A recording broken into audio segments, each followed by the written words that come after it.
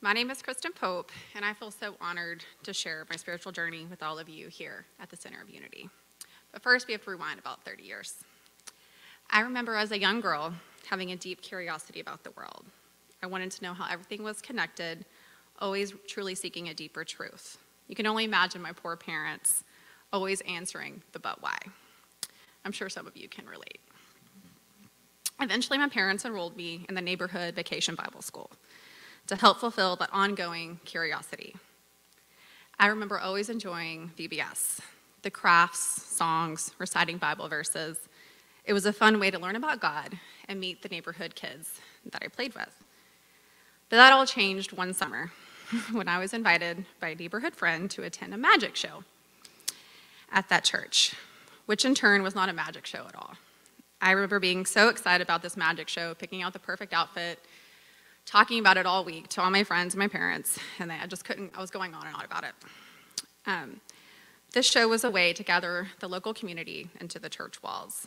I attended with my friend and her parents, and I vividly remember just sitting there um, watching this gentleman take out a big whiteboard and or he took out a pair of car keys I, am sorry to demonstrate the magic show for the adults. That was the show. It was just one show one trick. And i had no idea what the trick even was. I was just kind of sitting there like when's it going to start?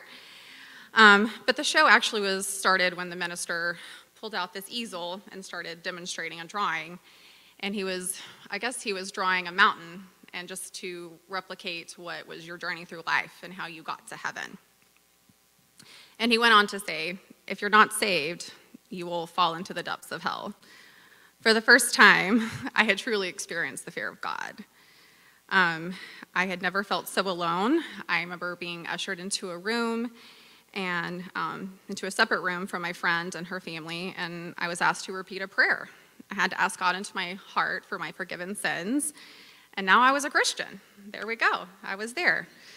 Um, but I had never felt so alone and scared in my life as a young seven year old girl. So I remember going home and telling my father what had happened, and he was not a happy camper, to say the least. Um, the following day, two representatives from that church came to my home, knocked on the door, and asked for me by name seven. um, but let's just say they never got to speak to me, and I never stepped foot in that church again or any church for many years after that. A few years later, um, I had the opportunity to attend the Unity of Fort Worth, where my father introduced me, and I had truly come home. I remember walking in and just feeling all the love and positivity, and there was just light everywhere. Everybody was just so welcoming. Um, I attended the Unity of Fort Worth through the Uniteens and into my 20s, but then my husband and I relocated to West Texas for four years.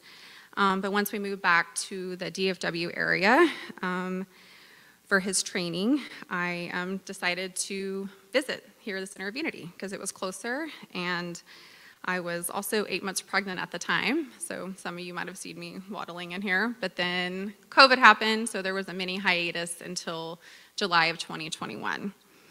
Um, but I really had no idea the journey that I was about to embark on in this past year. Um, during that time, when I came to visit, I was also in a 75 day challenge which included me giving up alcohol.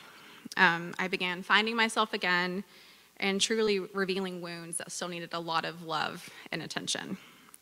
Um, through the past year, I have led two spirit groups. I have joined the membership team.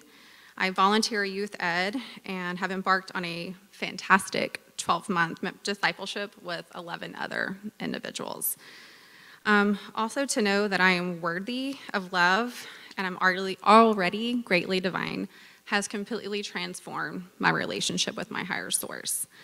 The Center of Unity has not only been a safe haven for me to heal, but it's also helped me grow in my faith.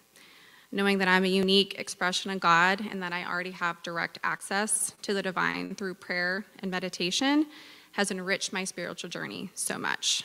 I have learned several valuable tools that I use in my day to day life as a mother, wife, and occupational therapist, incorporating sacred service into my everyday routine. It helps me stay grounded and centered in spirit. I have truly come home.